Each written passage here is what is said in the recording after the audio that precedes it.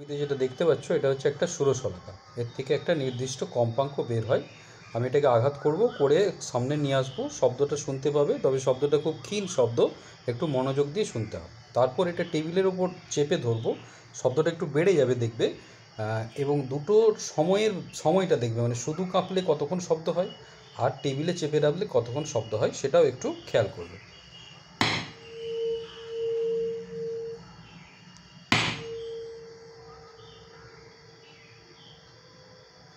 এটা স্পর্শ করলে বুঝতে পারবে কম্পন হচ্ছে, কিন্তু এখন তো স্পর্শ করা সম্ভব নয়। এবার টেবিলে রাখছি।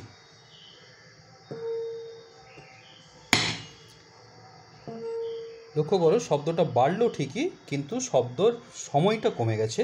মানে এখানে শক্তি সংরক্ষণ সূত্র কিন্তু লঙ্ঘিত হয়নি।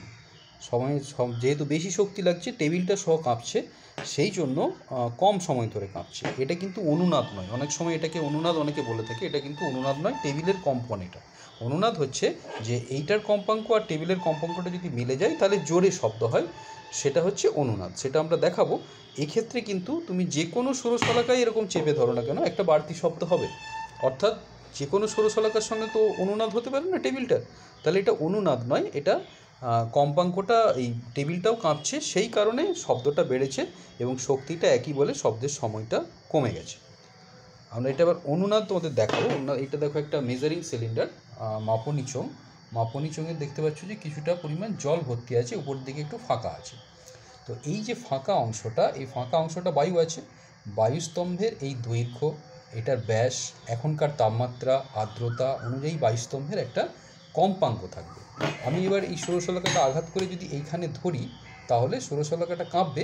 তো ওর কম্পনের সঙ্গে যদি বায়ুস্তম্ভের কম্পনটা, কম্পাঙ্কটা মিলে যায়, তাহলে আমরা একটা জোরে শব্দ শুনতে পাবো, একটা অনুনাদ শুনতে পাবো। তো সেটার আগে আমরা একটা জিনিস দেখে নিই, যে সত্যি এই যে বায়ুস্তম্ভ আছে, তার কম্পাঙ্ক যদি বায়ুস্তম্ভটা কমাই বাড়ায়, তাহলে কম্পাঙ্কটা বাড়বে বা কমবে কি না সেটা দেখো, এইটা দেখো, দুটো বোতল আছে, দুটো বোতলে এটা জলের পরিমাণটা দেখো, এটা জলের পরিমাণটা দেখো।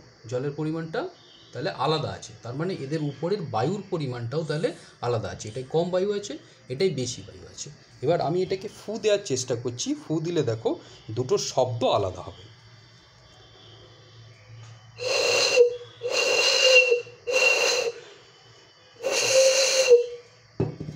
এটাই দিচ্ছি দেখো।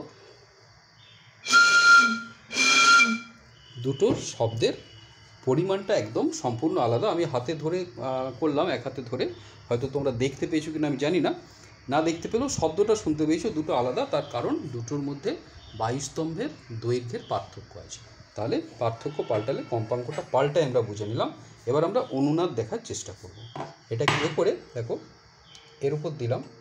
তো খুব একটা বাড়তি শব্দ কিছু পাচ্ছ না। এটা তুমি যদি কিছু শব্দ পাচ্ছ, সেটা এই পুরো শলাকাটারই শব্দ পাচ্ছ।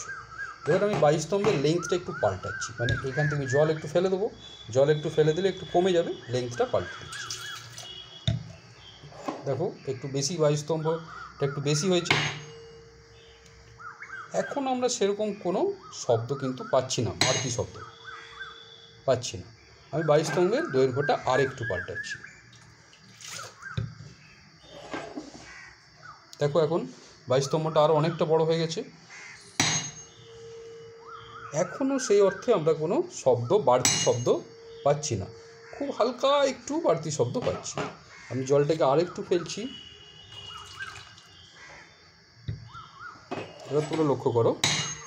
দেখো দেখো জলটা আরও বাইস্তম্ভটা আরও বেড়ে গেছে। দেখো একটা বাড়তি শব্দ পাচ্ছি।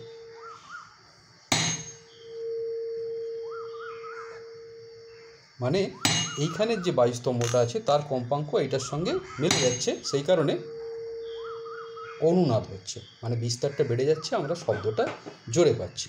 আমি জলটাকে আরও কমিয়ে দিলাম। মানে অনেকখানি কমিয়ে দিয়েছি, দেখো। সে অর্থে আর শব্দ নেই। আবার কিন্তু সেই একই রকম, আগের মতোই আর শব্দ নেই। মানে অনুনাদ হচ্ছে না। ওই নির্দিষ্ট দৈর্ঘ্যেই অনুনাদটা হচ্ছিল। তো এই ব্যবস্থাটা করে, এই ব্যবস্থা দিয়ে আমরা বায়ুমণ্ডলের শব্দের বেগ মানে এখনকার যে, এখানের যে বায়ু, এই তাপমাত্রায় শব্দের বেগ নির্ণয় করতে পারি। তবে সেক্ষেত্রে আর একটু সূক্ষ্ম পরিমাপের দরকার হয়। সেই সূক্ষ্ম পরিমাপটা করতে গেলে এর নিচ থেকে জল বের করার একটা সূক্ষ্ম ধীরে ধীরে জল বের করার ব্যবস্থা থাকতে হবে এবং সেই ব্যবস্থার মাধ্যমে সঠিক দৈর্ঘ্যটা বায়ুস্তম্ভের সঠিক দৈর্ঘ্যটা নির্ণয় করতে হবে। এই ব্যাপারটা দরকার, সেটা তোমরা ইলেভেন টুয়েলভে তোমাদের প্র্যাকটিক্যালে আছে। আমরা এখানে একটা মোটামুটি জিনিস দেখলাম কম্পন এবং তোমার অনুনাদের ব্যাপারটা মোটামুটিভাবে দেখলাম।